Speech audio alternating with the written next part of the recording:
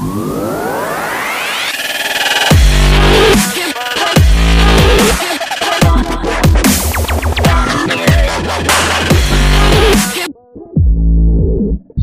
జనసేన అధ్యక్షుడు పవన్ కళ్యాణ్కు TDP MLA Bandaru Satyanarayana Murthy సవాలు చేశారు. గురువారం విశాఖలో ఆయన మీడియాతో మాట్లాడుతూ ముదబాక భూముల విషయంపై పవన్ అవగాహన లేకుండా మాట్లాడుతున్నారని అన్నారు. తాను వంద కోట్లు కూడబెట్టానని పవన్ ఆరోపించారని తాను రాజకీయాల్లోకి వచ్చిన తర్వాత ఆస్తిని అమ్ముకుంటానే తప్ప కూడబెట్టానని అన్నారు. ఎమ్మెల్యేగా ఒక్క రూపాయి అక్రమంగా కూడబెట్టానని పవన్ నిరూపిస్తే ఏ శిక్షకైనా సిద్ధమని చేసిన ఆరోపణలు నిరూపించాలని లేదంటే పవన్ క్షమాపణ చెప్పాలని బండారు సవాలు విసిరారు. బీజేపీ రాసి ఇచ్చిన స్క్రిప్ట్ను పవన్ చదువుతున్నారని బండారు విమర్శించారు.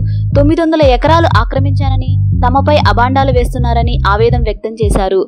టీడీపీ ఎమ్మెల్యేలను తిట్టాలని జగన్ని తిట్టద్దని బీజేపీ చెప్తుందా అని ఎమ్మెల్యే ప్రశ్నించారు. ప్రజాసేవ చేస్తానని వచ్చి పవన్ తాను చంపేస్తానని బెదిరిస్తారా అంటూ బండారు సత్యనారాయణ మూర్తి ప్రశ్నించారు. ఫార్మాసిటీలో కాలుష్య పరిశ్రమలు తాను తెచ్చానని పవన్ అన్నారు.